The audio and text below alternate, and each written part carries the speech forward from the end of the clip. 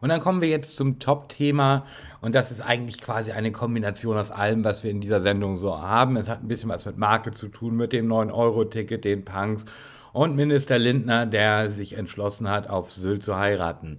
Das ging ja ordentlich äh, durch die Medien, nachdem von TV Total ein Moderator äh, einige Dinge herausbekommen hat, die ich auch persönlich schon ziemlich krass finde, so es denn stimmt, dass 137 Scharfschützen nach Sylt kommen.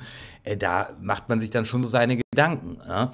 Ist das ähm, eine Demokratie, in der man leben möchte, wo sich die Regierung auf einer privaten Veranstaltung so dermaßen schützen muss vor den eigenen äh, Menschen, dass Scharfschützen mit auf eine Ferieninsel kommen müssen, dass Security aufgefahren wird, dass halb Kaitum abgesperrt wird. Das kann irgendwie nicht so ganz im Sinne des Erfinders sein, passt aber irgendwie zu unserem heutigen Zeitgeist. Wir hypen Dinge und wir eskalieren. Wir eskalieren zwischen Gut und Böse. Es gibt nichts dazwischen, es gibt kaum noch Farben. Wir digitalisieren unsere Meinungen und unsere Emotionen. Das ist ein erhebliches Problem.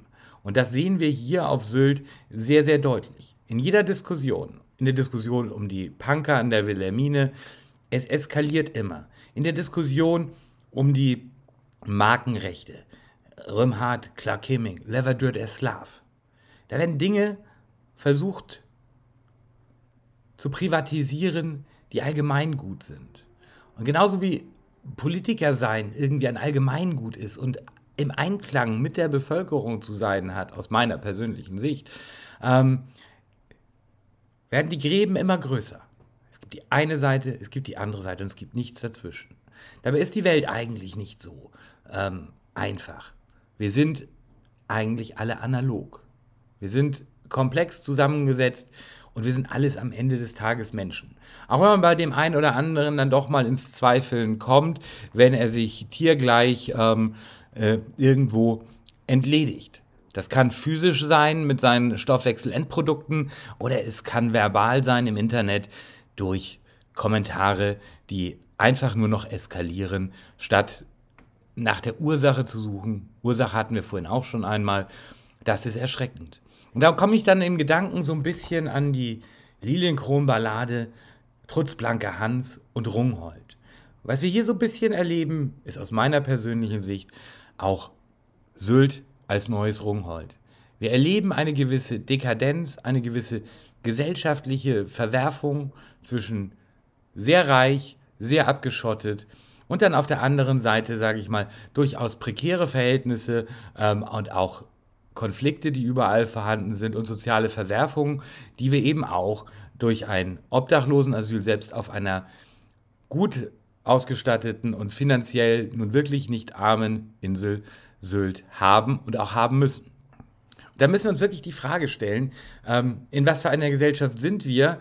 Und, und, bekommen wir es nicht doch irgendwie wieder auf die Kette, dass ähm, auch ein Minister auf der Insel, wenn er sich denn die Insel aussucht, privat feiern kann, ohne dass es zu einem riesen Happening wird, ohne dass der Staat enorme Sicherheitskräfte auffahren muss, wo er einfach, sage ich mal ganz normal, hier sich in die Kirche geht, sich seinen Termin bucht, hinterher ins Restaurant geht und dort auch von keinem gestört wird. Das sollte eigentlich äh, der gesunde Menschenverstand sagen. Auch ein Politiker hat irgendwann Feierabend zu haben. Diese, Diskussion hatten wir auf Sylt ja schon ähm, auch in anderem politischen Zusammenhang. Wann ist man privat und wann nicht? Äh, da sollte man vielleicht auf Sicht wirklich mal darüber nachdenken ob man da nicht sogar ähm, wirklich feste Dienstzeiten für die entsprechenden politischen Vertreter mit entsprechenden äh, Zeiten auch für deren Vertreter hat, wo jeder halt dann entweder im, politisch im Dienst ist oder eben auch sein legitimes Recht auf Freizeit hat. Auf der anderen Seite müssen wir auch gucken, wie benehmen wir uns untereinander? Wie gehen wir mit uns äh, um? Digital wo die Hürden und Hemmschwellen ja erstaunlich niedrig sind, weil man denkt, es gibt keinen Morgen. Es gibt immer einen Morgen. Das Internet vergisst nichts und ähm, wir müssen uns alle gerade auf so einer Insel in die Augen schauen können. Und zwar nicht nur wir untereinander, sondern auch die Gäste. Und zwar muss es da egal sein, ob der Gast nun viel Geld mitbringt oder einfach nur hier mit einem 9-Euro-Ticket auf die Insel kommt, um vielleicht mal die Natur zu genießen. Aber dabei sollte sich auch jeder benehmen wie ein Gast. Und zwar mit Respekt, den Menschen, die hier arbeiten und leben gegenüber, aber auch natürlich der Natur, die man nutzt und der Infrastruktur. In diesem Sinne wünsche ich allen auch ein bisschen besinnliche Zeit, wo man einfach mal darüber nachdenkt, wo stehe ich eigentlich und muss das, was ich irgendwo schreibe, auch so eskalativ sein? Und möchte ich es vor allen Dingen auch selber hören? Weil im Grunde, wir haben alle nur einen begrenzten Zeitrahmen hier auf diesem Planeten. Lass uns den doch nutzen, um Gemeinschaft aufzubauen und nicht weiter Gräben aufzureißen.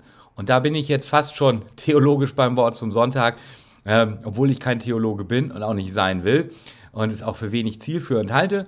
Dementsprechend ähm, möchte ich es einfach nur als persönliche Meinung und als Anregung für euch dalassen. Denkt doch mal drüber nach, kommentiert das vielleicht auch mal unterhalb der Sendung und wir sehen uns am kommenden Samstag um 19.15 Uhr ebenfalls wieder hier im Kanal. Bis dahin wünsche ich allen eine schöne Woche und nicht die Einwohnerversammlung in Wenningstedt-Braderup vergessen und auch so mit offenen Augen und offenem Herzen durchs Leben gehen. Einen schönen Abend.